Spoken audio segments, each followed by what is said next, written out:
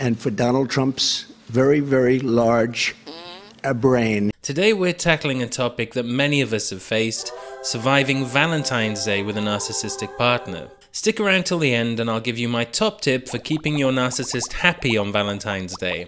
Picture this it's Valentine's Day, and after weeks of careful planning and considerable expense, you're eagerly anticipating exchanging heartfelt tokens and experiences with your loving partner.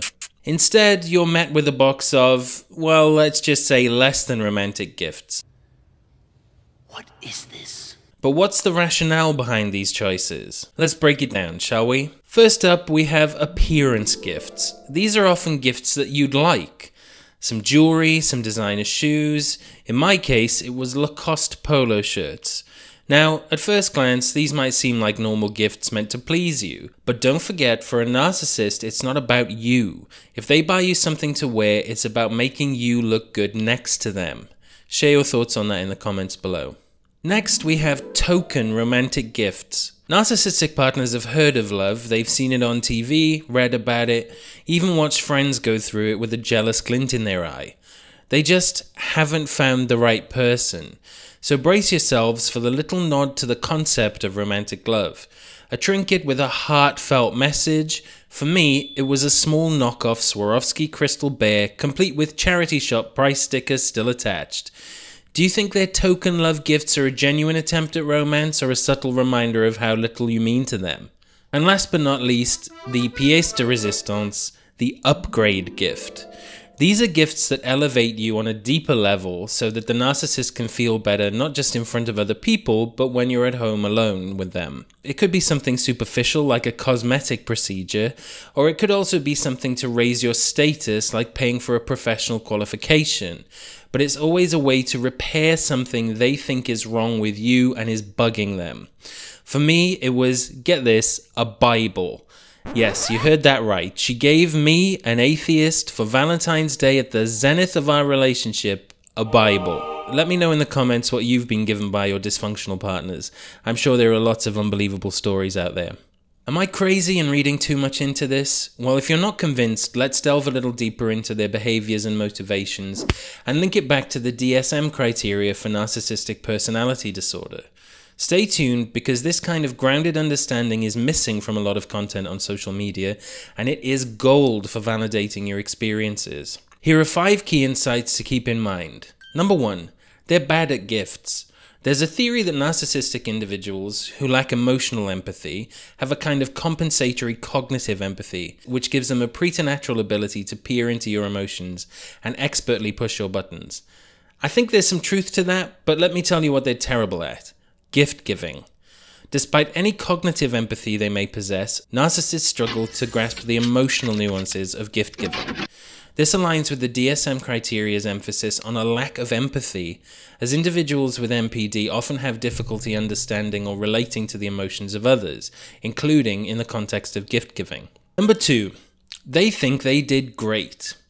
During my relapse, when I met up with my narcissistic ex, we were having a rare, open, honest conversation, laughing like old friends, and I said something about her being a bad gift giver and brought up the Bible she'd given me. Now, she didn't fly into a narcissistic rage on the spot, but she didn't have any idea what I was talking about. In their world, their gift choices are flawless, even if they miss the mark completely. This reflects the grandiose sense of self importance described in the DSM criteria, where individuals with NPD may have an exaggerated sense of their own abilities and accomplishments, leading them to believe that their actions, including gift choices, are always superior. For Donald Trump and for Donald Trump's very, very large uh, brain. Number three, they value superficiality. Materialistic gestures and appearances reign supreme in the narcissist's world.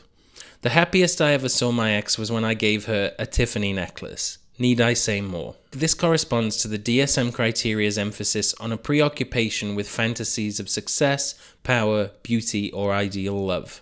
Individuals with NPD may prioritize materialistic or superficial displays of affection as these align with their inflated self image and desire for admiration. Number four, they expect the extraordinary. From extravagant activities to grand displays of affection, nothing short of extraordinary will suffice. I'm sure I'll go into my ex's profession and how it was all geared toward providing narcissistic supply in another video. But suffice it to say that even though she wasn't well educated or a high earner, she went to incredible lengths to display the ostentatious wealth, beauty, and success on social media that you might expect from a billionaire's girlfriend. This relates to the DSM criteria's description of individuals with NPD requiring excessive admiration. They may expect lavish displays of attention and affection from others as these reinforce their belief in their own superiority and specialness. Number 5 they keep score. Every gift, every gesture is meticulously tallied in the narcissist's mental scoreboard. As I said, when I brought up the Bible gift, she didn't lose her cool. We were in a bar. I know a lot of you understand what I mean when I say I definitely paid for it later.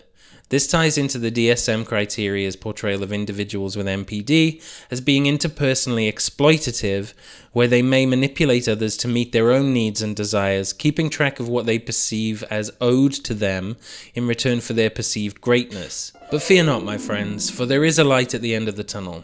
While navigating Valentine's Day with a narcissist may seem daunting, it's not impossible. By setting boundaries, practicing self care, and managing expectations, you can survive the holiday with your sanity intact. You can find out more about those in my other videos. Remember, you deserve love and appreciation, whether it's Valentine's Day or any other day of the year. So take care of yourself and cherish the relationships that uplift and support you. You'll need them when your relationship finally goes off a cliff. I've been through it, and I'm here for you too. Oh, and finally, my tip for making your narcissist happy on Valentine's Day. You can't. I hope most of you are not surprised by that. Listen, the narcissistic relationship cycle is immutable. Whether you're in the idealization phase and here because something feels off, or you're struggling through the devaluation phase and desperate for answers to ease the pain, the discard phase is coming. But by educating yourself like you have today, you can shield yourself to blunt the pain and speed up your recovery afterward. If you found this video helpful, don't forget to hit that like button and subscribe to my channel for more insightful content. If you'd like my help in your recovery, check out my website at chrisjonescoaching.com. The link is in the description. Until next time, take care of yourself and stay strong. You've got this.